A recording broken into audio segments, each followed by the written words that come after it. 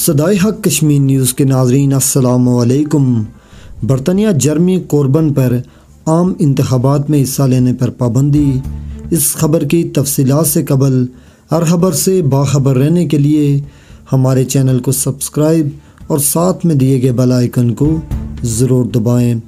बरतानवी labour party के सबरा sir care स्टामन ने सबक लेबर लीडर जर्मी कोरबन के यहूद मुखालिफ बयान पर पार्टी की तरफ़ से उन पर अगले आम इंतबात में हिस्सा लेने पर पाबंदी आयद कर दी। गैर मुल्की मीडिया रिपोर्ट के मुताबिक जर्मी कोरबन ने पाबंदी को लाखों वोटर्स की तोहन और पार्टी के अंदर जमहूरियत पर हमला करार देते हुए मुस्तरद कर दिया है। बरतानवी मीडिया के मुताबिक लेबर जर्मी कोरबन ने आज़ाद हैसियत में इंतबात में हिस्सा लेने का ऐलान किया है।